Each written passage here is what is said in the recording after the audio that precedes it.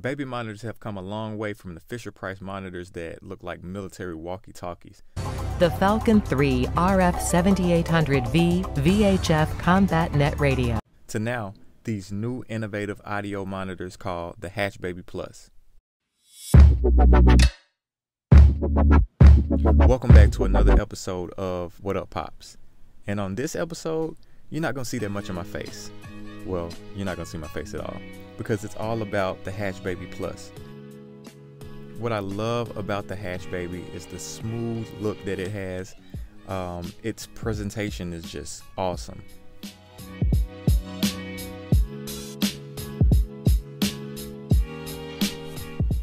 In my opinion, this is one of the most reliable baby monitors that are out right now. The Hatch Baby Plus gives you so many different features that I'm gonna break down and talk about in a few. Features like sounds and music, the nightlight feature, controlled with Alexa. It's an audio monitor. It has a clock, backup battery, and Wi-Fi. So let's talk about the lights. It has this awesome nightlight feature that has a variety of different colors. And the great thing that I love about it is the fact that you can control everything on your phone.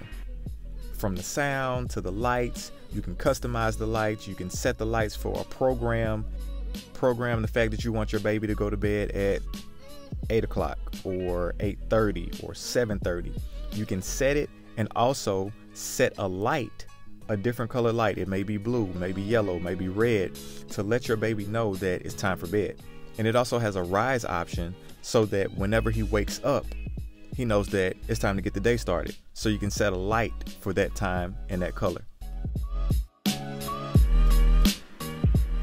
What I really love about the Hatch Baby Plus is, like I said, the nightlight feature because I was thinking about getting him a nightlight that you plug into the wall, old school, but this right here kills two birds with one stone. As many colors as you want, turns on and off when you want. You can't beat that. My son really loves the Hatch Baby Plus because he wants to touch on it all the time, but it has a kid lock, a kid safety lock on it. So whenever he touches on it, it won't change the color, it won't turn it off. He can hit on it as much as he wants to, as long as he's not, you know, trying to slam it down to the ground and break it. But it allows him to touch on it and it won't make any type of effect. Won't do anything. Won't mess anything up. Won't mess up any of your programs. Another amazing feature is the fact that it has a backup battery.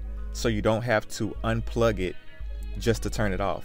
If you unplug it, it'll still be on. Only thing you have to do is press down and hold on the top of the hatch baby with your hand and it'll cut it off automatically.